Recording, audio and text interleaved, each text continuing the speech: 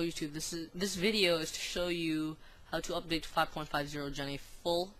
Make sure you update from 5.00 M33, 5.02 Gen, 5.03 Gen, 5.01 M33. Do not update from ChickHEN. This is a warning. If you update from ChickHEN, your PSP will brick. And there's absolutely no way for you to fix this unless you send it to Sony themselves. And they will find out that you tried to hack your Slim 3000 or the 88 version 3 motherboard and they will not return it to you. You have a brick. No use. Hello YouTube, this is Biller02 with a new video for YouTube.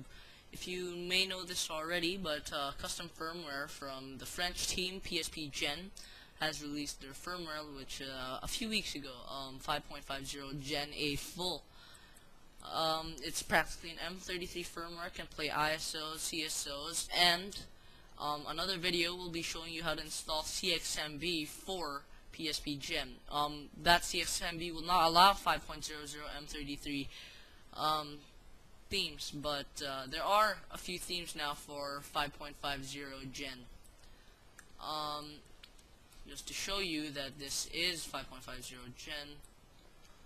You see, see there it is 5.50 gen a full. Now um download link to the right of the um, YouTube video.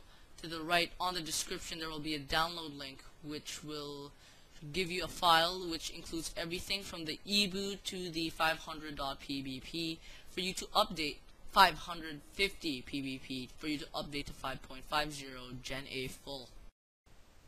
Alright YouTube, so now you go to your computer, um, download the, uh, click on the link to the right on the description and it will go to Mega Upload and please download the file which you do need to update um, once you are done downloading, bring it to your desktop. It will be named 5.50 Gen A Full Biller02. What you do is you open this, which will you need WinRAR for this to open, and you extract these two folders on your desktop. Now you wait for it to uncompress, and then open and place your PSP in USB mode if you you need USB mode. Now continue without scanning if you that pops up for you. Then you open folder to view the files. What you do is you go to PSP, then you go to game, and you place update there. Which you you see I already have update there.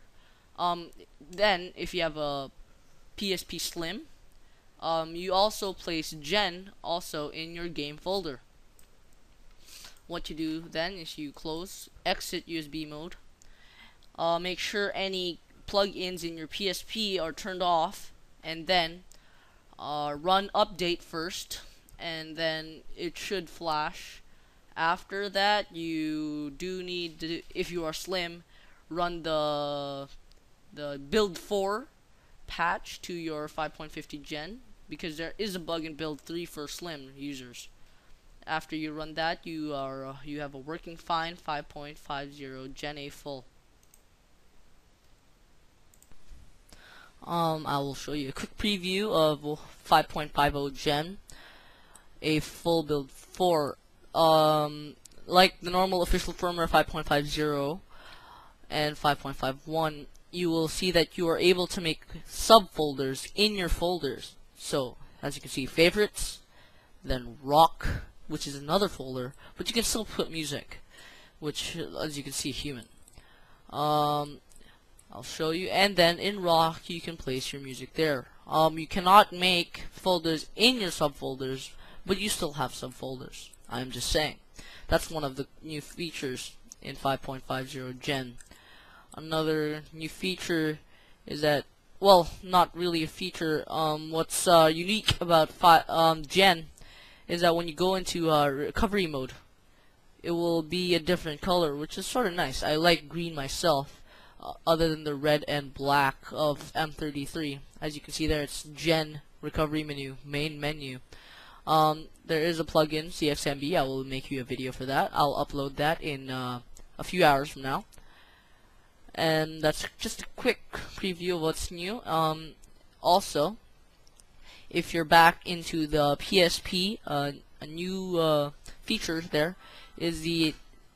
Let, let me show you first. It's loading. There you go. You go to your network, and there you know there's usually a sign up for PlayStation Network and PlayStation Store. What's new is this, the information board, but you still do need internet access for this to work. It shows updates in the PlayStation Network or the PlayStation World. Also, there's a feature for the internet browser about uh, safe browsing, but uh, nobody really uses it. Nobody really cares. So, a quick preview of the 5.50 gen.